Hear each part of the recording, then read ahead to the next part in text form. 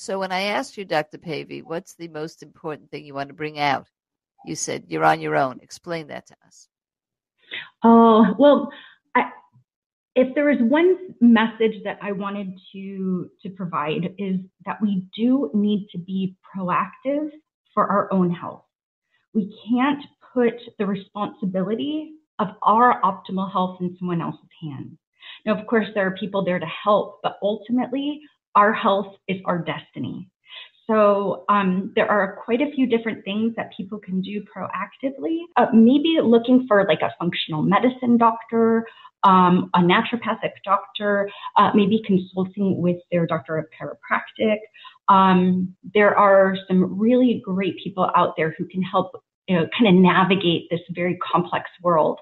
Um, but in terms of one of the mechanisms that we need to be aware of when we're looking at um, um, supporting our immune system, especially in the realm of things that are new in the environment, we have a, a, a grouping of immune cells called T cells or naive T cells.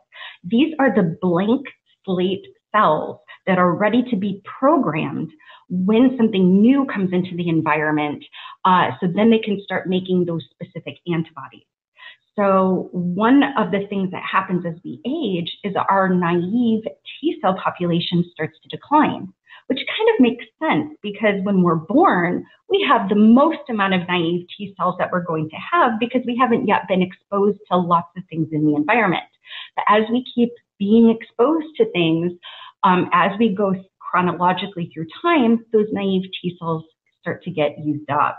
So what we want to do uh, in the ter- in terms of you know, preparing our bodies for something new, we want to support those naive T cell populations. And one uh, ingredient that can help to do so is called Cistanche tubulosa, which uh, especially if it's standardized to the echinacosides, which are those phytonutrients that concentrate in that particular plant.